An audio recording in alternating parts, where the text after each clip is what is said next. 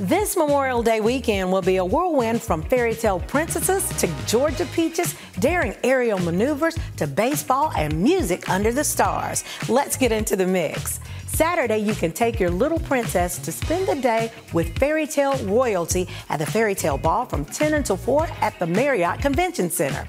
The Fairy Tale Ball is an interactive event where your family gets up close and personal with our princesses. Guests will enjoy stories, songs, dance, crafts, games, and more. Tickets are available on Eventbrite. Tomorrow, the Augusta Green Jackets will have a spectacular post-game fireworks show after their game with the Kannapolis Cannonballers. Take in a ball game and watch the sky light up after the game. Gates open at 4:30. The first pitch is at 6:05. For tickets, visit greenjacketsbaseball.com. Also, tomorrow through Sunday, don't miss the 2024 Augusta Air Show featuring the U.S. Air Force F 22 Raptor demo team at the Augusta Regional Airport. It's a rare opportunity to witness incredible area maneuvers up close as they demonstrate their precision and speed with breathtaking stunts. Gates open at 9 a.m. Tickets are available at AugustaAirShow.com.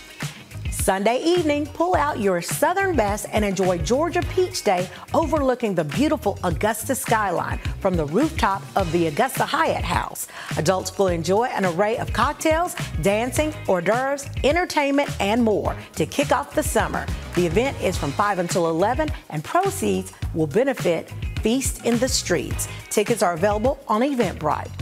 Also Sunday, it's the Candlelight Music Series from 7:30 until 10 at the Augusta Common. Grab your picnic baskets, lawn chairs, and blankets and enjoy music under the Augusta skyline. The Sundays, this Sunday's feature band is Tara and the Snacks. Tickets are available at augustaga.gov. I'm Shara Best from 96.3 KISS FM, encouraging you to create a fantastic weekend. And that is your entertainment in the mix. All